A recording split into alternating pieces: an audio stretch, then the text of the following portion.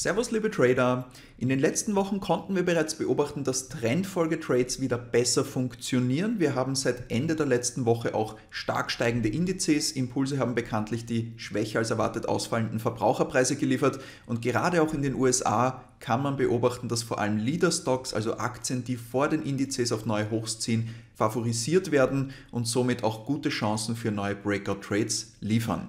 Heute möchte ich euch anhand des Neo Davos Screenings zeigen, wie ihr solche Aktien wie Supermicro Computer finden könnt. Ich habe den Chart mal groß aufgemacht, eine Aktie, die hier zu den absoluten Bullen am US-Markt derzeit immer noch zählt, eine Neubewertungsphase eingeleitet hat, einer der weltweit führenden Serverhersteller, der profitiert von Trends wie dem Ausbau von Rechenzentren, der Einführung der 5G-Technologie. Und ihr seht es auch hier, immer wieder gibt es Prognoseanhebungen, besser als erwartete Quartalszahlen, wie zuletzt auch Anfang November. Da hat Northland, das Analystenhaus, auch nochmal gesagt, für uns ein Top-Pick mit Kursziel 165 Dollar outperform. Also der Aktie wird immer noch ja, von dem Niveau, wo wir jetzt gerade sind, mehr als ein Verdoppelungspotenzial zugetraut. Die Bewertung ist attraktiv und jetzt bewegt sich die Aktie auch wieder Richtung Allzeithoch, nachdem sie eine kurze Verschnaufpause gegeben hat. Finden können wir solche Aktien sehr gut mit unserer Screener-Software Aktien Rankings die mit dem Morningstar Datenpaket genutzt werden kann. Ich lasse mich einfach mal dorthin verlinken. Und dort haben wir zum Beispiel dann auch vorgefertigt das Template nach Neo Davos, das sich bezieht auf den Trendfolgetrader Nicolas Davos, der eigentlich ungarischer Tänzer war, aber auch eine Strategie entwickelt hat, bei der gezielt auf Aktien gesetzt hat, die steigen und wo eben nur kurze Konsolidierung die Aufwärtsbewegung unterbrechen. Also so wie es auch bei Supermicro gerade der Fall ist. Aktien ziehen regelmäßig auf neue Hochs und bieten immer wieder neue Einstiegsmöglichkeiten. Ich habe dieses Screening jetzt mal ausgewählt. Ich mache das Template nochmal kurz auf. Ihr seht nämlich dann hier immer sofort auch eine Beschreibung. Wie setzt sich dieses Screening auch zusammen? Da wird nochmal drauf eingegangen. Also berücksichtigt werden hier zum Beispiel jetzt nur Aktien, die in den letzten 20 Handelstagen ein neues 52 Wochen hoch markiert haben und aber auch schon vom Halbjahrestief zumindest 70 Prozent zulegen konnten. Das heißt, wir finden hier keine Aktien, die am Boden liegen, sondern Aktien, die bereits relative Stärke gezeigt haben gegenüber den Indizes, in Aufwärtstrends drinnen sind und jetzt das Potenzial haben, mit einem neuen Breakout auch die Aufwärtsbewegung noch einmal zu beschleunigen. Wenn Aktien dann zum Beispiel innerhalb dieser 20 Handelstage kein neues Hoch generieren konnten, fliegen sie aus diesem Screening raus und werden dann auch nicht mehr berücksichtigt. Genau, jetzt klicke ich einfach mal auf Template laden und auf Scannen Standardmäßig wird hier das Universum mit den 2000 volumenstärksten US-Aktien berücksichtigt. Hier sehen wir schon, 2000 Aktien sind das.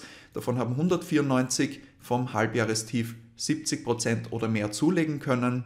Und 51 dieser Titel wiederum sind dann auf neue Hochs in den letzten 20 Handelstagen auch ausgebrochen. Wir haben da auch Aktien, nicht nur drauf wie gerade die erwähnte Supermicro Computer, sondern wir sehen zum Beispiel auch sehr spannend eine Digi International. Ich mache da auch mal den Chart kurz auf, indem ich einfach hier auf den Namen der Aktie nochmal draufklicke. Dann komme ich nämlich nochmal zum Trading Desk. Das ist auch eine sehr spannende Story dass hier eigentlich Software-as-a-Service-Einnahmen die wiederkehrenden Erlöse steigern können. Die sind bekanntlich auch höhermarschig. Und ja, Digi International kümmert sich allerdings vor allem um die Vernetzung der Industrie. Also ist ein IoT-Spezialist, der hilft, verschiedene Sensoren zu integrieren, um dann zum Beispiel Kühlketten zu überwachen in äh, Lebensmittelgeschäften, Apotheken, Laboratorien und so weiter ähm, oder auch zum Beispiel Werbeplakate, digitale zu vernetzen miteinander, Geldautomaten, große Netzwerke zu schaffen. Und vor allem die jährlich wiederkehrenden Einnahmen konnten im letzten Quartal wieder um 164 Prozent gesteigert werden. Hier wirkt sich auch die Übernahme von Ventus positiv aus, immer noch, drum diese hohe Wachstumszahl. Aber auch da besteht jetzt durchaus die Chance, hier diese Aufwärtsbewegung nochmal weiter zu beschleunigen. Wir sehen schon in den letzten Monaten auch immer wieder besser als erwartete Quartalszahlen relative Stärke zu sehen. Abwärtsbewegungen der Indizes werden nicht mitgemacht. Und jetzt, wo sich die Stimmung an den Märkten aufhält, ziehen diese Titel sofort immer auch weiter mit nach oben durch. Weitere Informationen zu den Aktien habt ihr hier immer auch in der Übersicht. Wie sieht es da mit dem ähm, geometrischen Umsatzwachstum aus, wie stabil ist das Umsatzwachstum, Gewinnwachstum. Dann gibt es hier entsprechend einen Gesamtscore auf der Seite.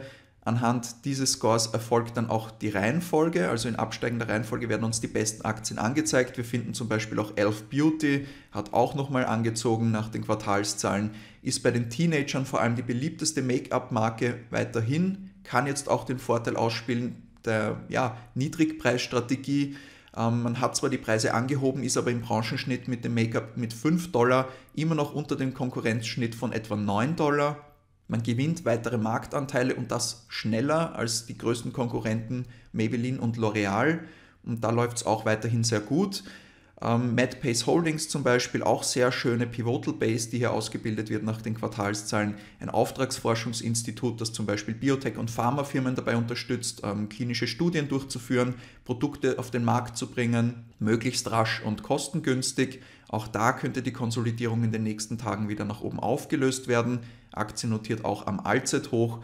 Und so könnt ihr da einfach durchgehen und sehr viele spannende Setups finden, wo es eben immer wieder nach dem Neo-Davos-Prinzip kurze Konsolidierungen gibt, die dann auch wieder beim Ausbruch neue Breakout-Chancen bieten. Transmedics zum Beispiel, ein Kandidat noch, auch da eine Konsolidierung am Hoch. Wenn es über die 60-Dollar-Marke geht, gibt es auch hier wieder charttechnisch grünes Licht für neue Trendfolgetrades.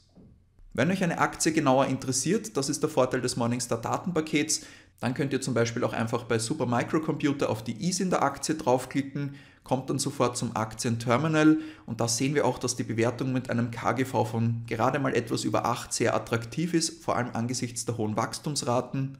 Im letzten Quartal ist der Umsatz wieder um 80% gestiegen. Der Gewinn je Aktie lag mit 3,42 Dollar, ja fast einen ganzen Dollar über den Analystenschätzungen und auch ein 10 Milliarden Umsatzplan bzw. sogar 20 Milliarden Dollar Umsatzplan wurde bereits vom Management ausgerufen. Also hier gibt es wirklich die Chance auf eine Neubewertung. Keine Garantie für eine Fortsetzung der Aufwärtsbewegung, aber aktuell einer der absoluten Bullen am US-Markt, was man hier sehr gut identifizieren kann. Ähm, die Aktie schneidet auch bei unseren Scoring-Systemen sehr gut ab. Wachstumscheck zum Beispiel zeigt auf mit der Höchstpunktzahl, dass der Titel zu den aktuell besten Growth Stocks am US-Markt zählt. Auch bei der Qualität gibt es 12 von 15 möglichen Punkten. Also hier insgesamt nach diesen Ratings auch eine sehr interessante Aktie. Alles, was ihr benötigt, um dieses Screening auch selbst durchführen zu können, ist wie gesagt das Morningstar Datenpaket. Alle Informationen zu den Produkten findet ihr wie immer auf TraderFox Home und dort am besten einfach zu den Applikationen gehen. Dort gibt es nochmal die Info TraderFox Morningstar Datenpaket. Äh, ihr habt hier alle Informationen zum Aktienterminal, Aktienrankings. Ich verlinke euch aber noch einige weitere Anleitungsvideos, die dazu passen, in der Beschreibung des Videos. Ich wünsche euch dann viel Spaß beim Screenen und viel Erfolg mit euren Trades.